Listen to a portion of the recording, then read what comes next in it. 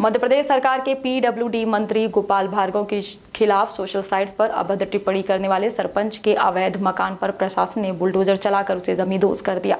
ग्राम पंचायत झावेरी के सरपंच सचिन ठाकुर ने सागर के गढ़ाकोटा में भगत सिंह वार्ड स्थित राधेलाल सोनी के कच्चे मकान पर अवैध कब्जा कर पक्का मकान बनाया था। वहीं मामले की शिकायत मिलते ही प्रशासन एक्शन मोड में आया और मौके पर पहुँचा, जहाँ मकान की तलाशी ली गई। तलाशी में मकान से गांजा और कट्टा भी बरामद किया गया।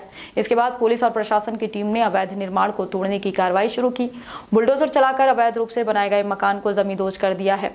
उल्लेखनीय है कि सरपंच सचिन ने गढ़ा कोठा थाना क्षेत्र के एक विवाद के मामले में हुई कार्रवाई को लेकर पीडब्ल्यूडी मंत्री भार्गव पर सोशल मीडिया पर अभद्र टिप्पणी की थी। मामला सामने आने के बाद पुलिस ने सरपंच के खिलाफ प्रकरण दर्ज कर गिरफ़्तार कर लिया था। गढ़ा गढ़ाकोटा तहसीलदार कुलदीप परासर ने बताया कि सरपंच सचिन ने गढ़ा गढ़ाकोटा के भगत सिंह, वार्ड निवासी राधेलाल सोनी के कच्चे मकान को तोड़कर अपना पक्का मकान बना लिया था। 1600 वर्ग फीट एरिया में बने मकान की कीमत करीब 20 लाख रुपए थी। मामले में कार्रवाई करते हुए मकान तोड़कर ज़मीन को मुक्त कराया गया है।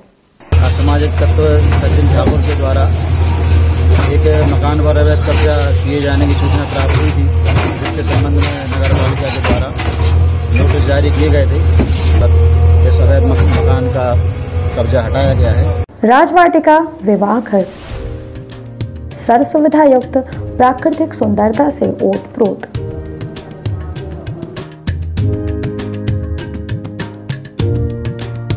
राजवाटिका विवाह घर में एंगेजमेंट तिलक, शादी रिसेप्शन वेडिंग शूट जन्मदिन पार्टी जन्माशा सहित अन्य कार्यक्रमों के लिए विवाह घर उपलब्ध। अपने मांगलिक कार्यक्रमों को यादगार बनाएँ शहर के मध्य वातानुकूलित राजवाटिका मैरिज गार्डन के साथ। हमारा पता है, Rajvatika marriage garden, national highway जूला मोड़, भुंडहा, रीवा। अधिक जानकारी के लिए संपर्क करें nine eight two seven zero zero four two five one.